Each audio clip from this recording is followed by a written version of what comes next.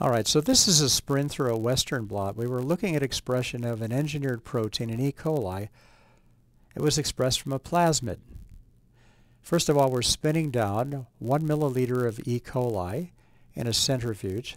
We're pouring off the supernatant, and then we're going to add SDS sample buffer.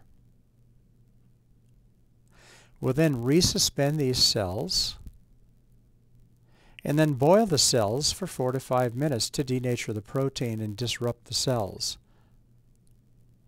We're going to add that to a polyacrylamide gel and we'll run it towards the positive electrode because the SDS coats it in negative charge. An hour later the tracking dye has run off. We'll remove the apparatus, open up the apparatus and pry the plates apart revealing the gel.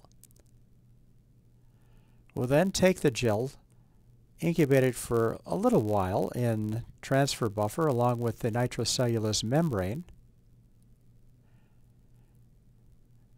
We'll then put down wet filter paper and then the nitrocellulose membrane and then the gel on top of that. We'll add filter paper to the top of that and then remove the air bubbles with a roller. We'll put it in a high amperage transfer apparatus for about 30 minutes. Notice that 30 minutes later the proteins have transferred. Look at the colored molecular weight markers, standards on the right. We then block unoccupied sites in 5% instant milk, wash that off. Then we add primary antibody for at least an hour.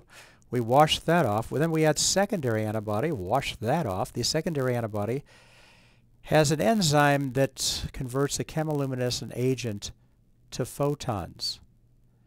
So we put this in a light box that can measure photons. We first of all take a picture of the standard molecular weight markers for reference. Then we capture photons over time. This is 30 seconds. We reverse the image so white becomes black. We print it out, we label the samples, and concomitantly we purify the plasmids and send them in for sequencing to make sure we have the right mutations.